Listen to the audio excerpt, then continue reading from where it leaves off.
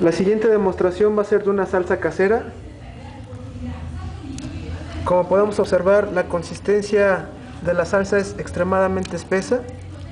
Esta salsa no es otra cosa más que una mezcla de chile de árbol con aceite. La dosificamos en el pistón.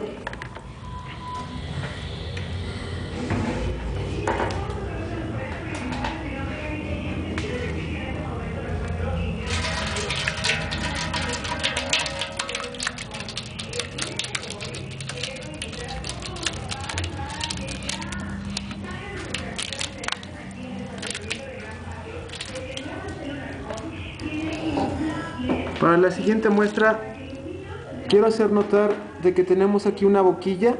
Esta boquilla sirve para restringir o para darle flujo a la salida del producto. En este caso en particular, como es muy granuloso, podemos remover la boquilla.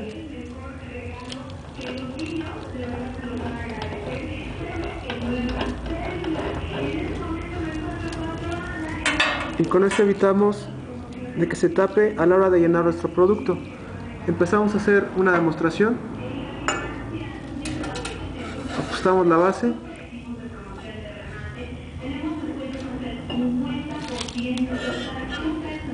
Accionamos el equipo.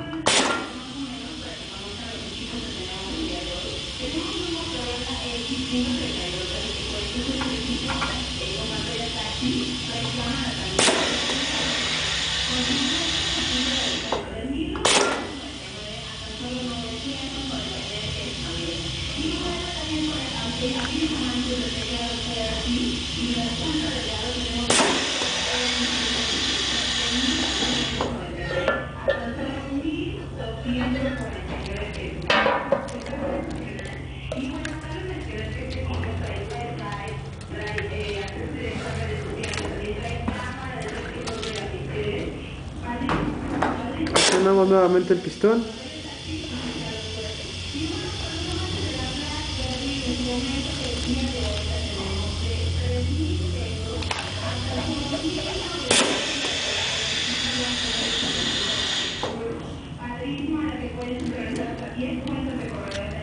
En este caso, por cuestiones prácticas, los llenamos en este volumen porque los frascos son de diferente capacidad.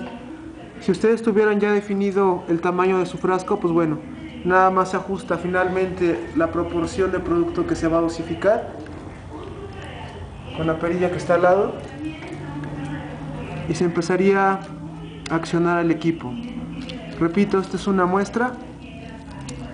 Como se ve el producto es muy grasoso, muy viscoso y se tuvo que quitar la boquilla para que el producto se dosificara adecuadamente.